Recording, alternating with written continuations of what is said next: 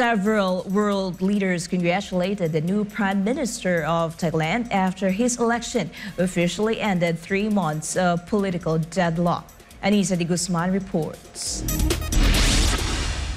Real estate tycoon and Pheu Thai party candidate Srettha Thavisin received a lot of messages from world leaders who congratulated on his election as the 30th Prime Minister of Thailand. Among the well-wishers was Indian Prime Minister Narendra Modi, who is looking forward to take the India-Thailand bilateral relations to a higher level.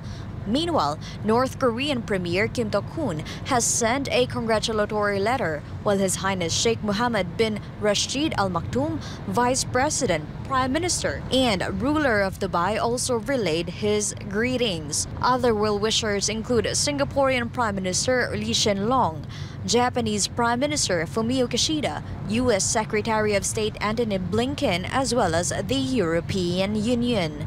Thai lawmakers elected 61-year-old real estate tycoon and developer Srettha Thavisin on Tuesday, August 22, following more than three months of political deadlock.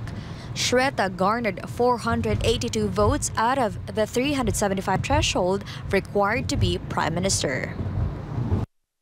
Cambodia has also selected its new prime minister by appointing 45-year-old four-star General Hun Manet, the son of outgoing Premier Hun Sen, to be its future leader. Srettha and Hun Manet vowed to work together and strengthen the bilateral relations of their respective countries during the course of their leadership.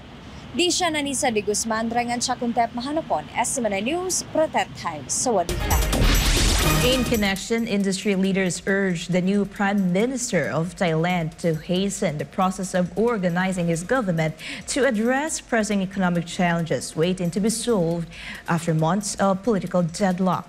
Chatmungkon Pesai Muguson has the details. Incoming Prime Minister Srettha Thavisin faces attacks of revitalizing Thailand after months of political stalemate limited the government from achieving economic expansion. The business community urged the newly appointed leader to hasten the process of organizing a new government to promptly address a sequence of pressing challenges. These economic challenges include fragile exports, a looming drought crisis, managing high household debt, as well as giving assistance to struggling small and medium-sized enterprises or SMEs. The chairman of the Federation of Thailand Industries or FTI expressed the need for Srettha and his cabinet to begin work immediately to revitalize the national economy.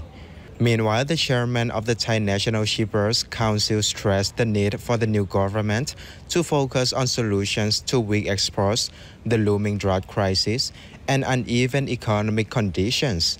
Moreover, the president of the Thai Hotels Association believes it is better to establish a new government immediately to allow the industry to prepare for a stronger influx of tourists in the next three months. Several world leaders, on the other hand, conveyed their greetings to the incoming Prime Minister and expressed their willingness to expand bilateral ties under the new government of Thailand.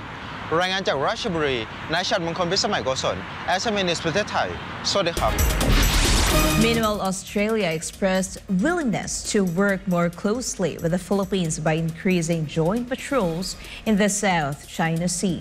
Shina Selim reports. Australian Defence Minister Richard Marles said Canberra plans to increase bilateral activities in the South China Sea as part of security efforts.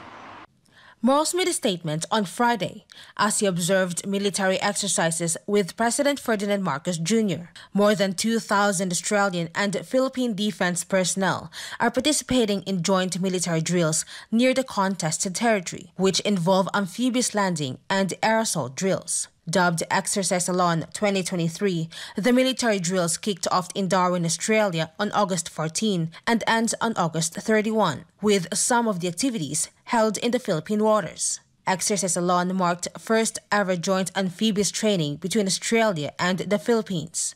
Meanwhile, Australian Prime Minister Anthony Albanese will visit the Philippines from September 7 to 8, 2023, making him the first sitting prime minister to visit the Southeast Asian country in 20 years.